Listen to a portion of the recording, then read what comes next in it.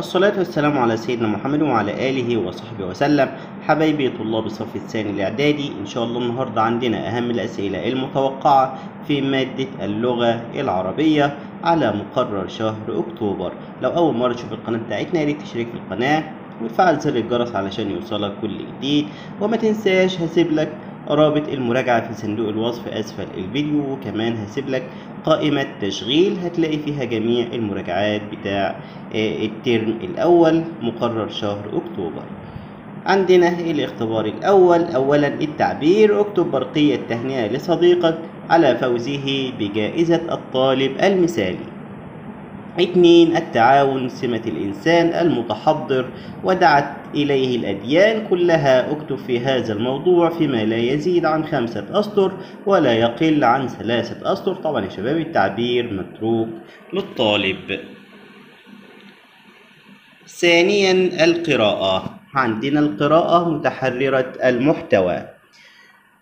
أيها الناشئ العربي إنك وإخوانك من الطلاب تعدون أنفسكم للمستقبل الذي ينتظركم وأمثالكم من أبناء الوطن.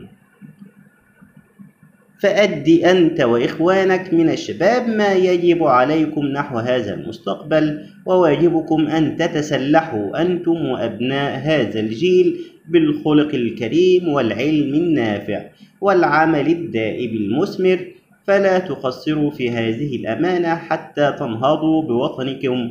ليحتل مكانة اللائق مكانته اللائق به تحت الشمس.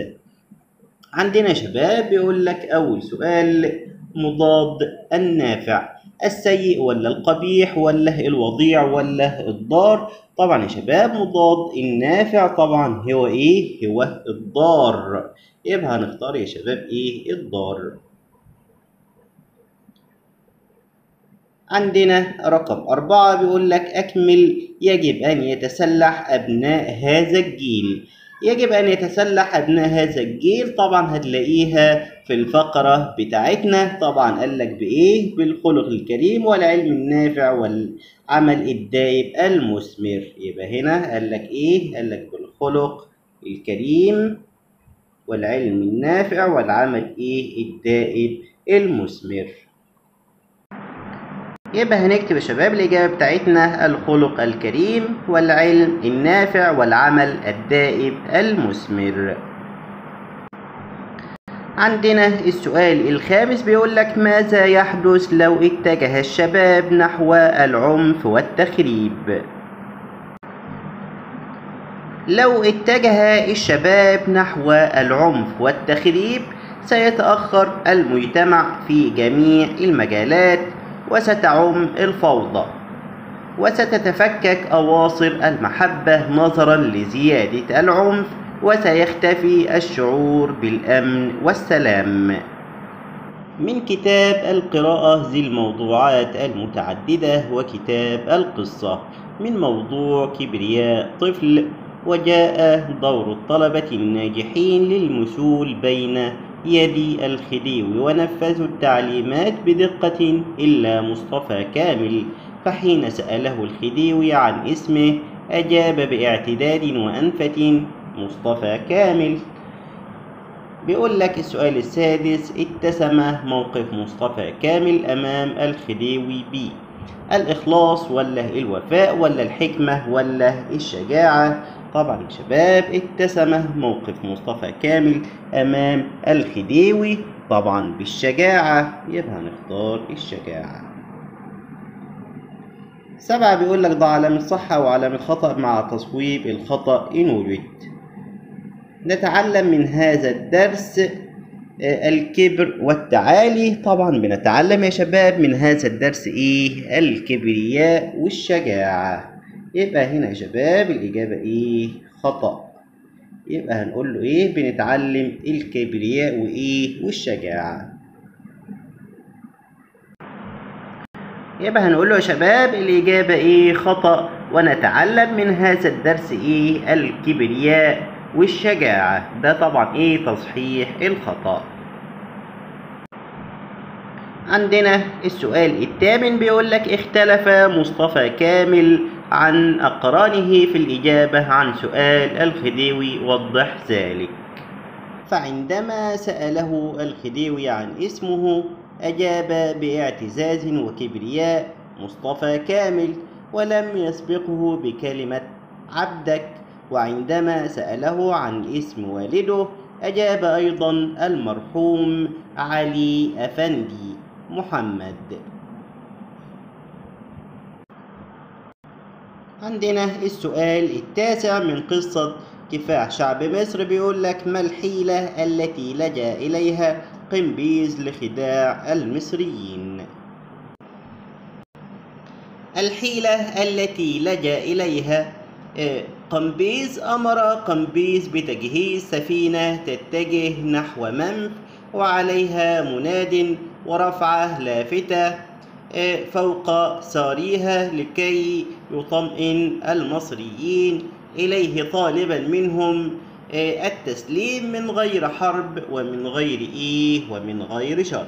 يبقى أمر قمبيز بتجهيز إيه سفينة. أمر بتجهيز سفينة تتجه نحو منف وعليها إيه وعليها مناد. ورفع لافتة فوق صاريها لكي يطمئن المصريين إليه طالبا منهم التسليم من غير حرب ومن غير إيه شرط. عندنا اتنين بيقول لك كانت إياه حتب مثالا للمرأة المصرية المخلصة لوطنها دلل على ذلك.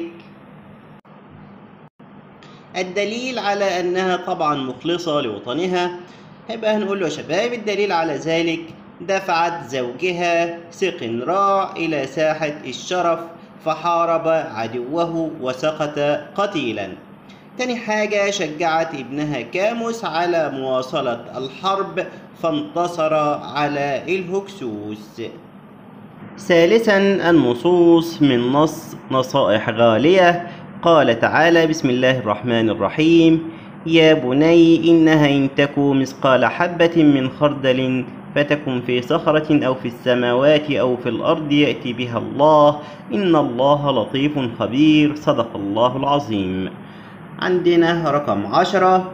بيقول لك هنا الضمير في إنها يعود على الأعمال ولا الصلاة ولا السيئات ولا آه الآخرة. طبعا شباب الضمير هنا في إنها يعود على إيه؟ يعود على الأعمال. يبقى هنختار الأعمال. طيب عندنا السؤال رقم 11 يا بني أسلوب. طبعا يا شباب يا بني أسلوب إيه؟ طبعا أسلوب نداء.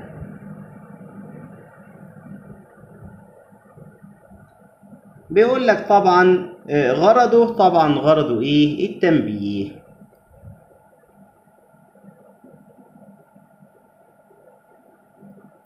يبقى غرضه التنبيه. طيب يا شباب نشوف السؤال اللي بعديه. بيقول لك رقم 12 من المنادي ومن يخاطبه ولماذا؟ عندنا من المنادي طبعا هو الابن ومن يخاطبه طبعا هو الأب اللي هو سيدنا لقمان. ولماذا طبعا؟ ليعلمه خشية الله ومراقبته في أقواله وأفعاله. يبقى هنقول له المنادى هو الابن ومن يخاطبه هو سيدنا لقمان الأب. ولماذا طبعا؟ لكي يعلمه خشية الله ومراقبته في أقواله وأفعاله. عندنا 13 بيقول لك الصوت المرتفع دليل على رعونة وغباء. اكتب الآية التي تنهى عن ذلك. طبعا يا شباب الصوت المرتفع دليل على إيه؟ على رعونة وغباء. طبعا عندنا الآية الكريمة قال تعالى بسم الله الرحمن الرحيم واقصد في مشيك واغضض من صوتك إن أنكر الأصوات لصوت الحمير. صدق الله العظيم. هنكتب الآية الكريمة يا شباب.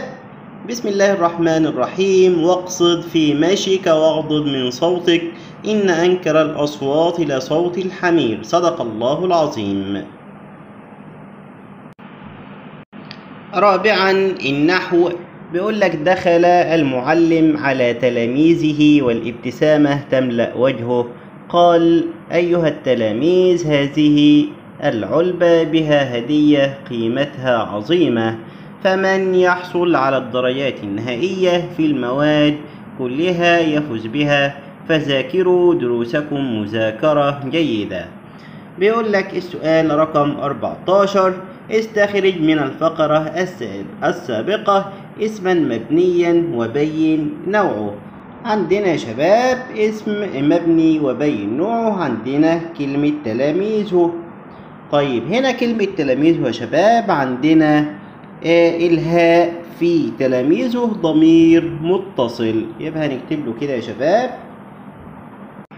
يبقى هنقول له الاسم المبني الهاء في كلمة تلاميذه ونوعه ضمير متصل. وكمان عندنا شباب هذه طبعا إيه؟ اسم إشارة. يبقى برضو عندنا اسم مبني هذه ونوعها إيه؟ اسم إشارة. عندنا 15 بيقول لك استخرج من الفقرة السابقة. نعتا جملة وبين محلها الإعرابي. طبعا عندنا يا شباب نعت الجملة هنا اللي هي إيه؟ قيمتها عظيمة. قيمتها إيه, إيه عظيمة. طبعا يا شباب في محل رفع. في محل إيه؟ في محل رفع. يبقى هنكتب له كده نعتا جملة اللي هي قيمتها عظيمة ومحلها الإعرابي في محل رفع.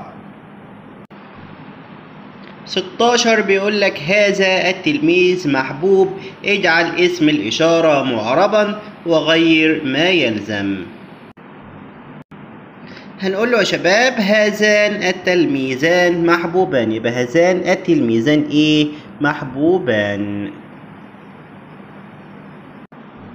خامسا الخط. بيقول لك اكتب ما يلي بخط النسخ مرة وبخط الرقعة مرة أخرى. الأم مدرسة إذا أعددتها أعددت شعبا طيب الأعراق. طبعا الخط والإملاء متروك للطالب. وهنا شباب نكون انتهينا من حل أهم الأسئلة. أتمنى لكم التوفيق والنجاح. وانتظرونا في فيديوهات قادمة. والسلام عليكم ورحمة الله وبركاته.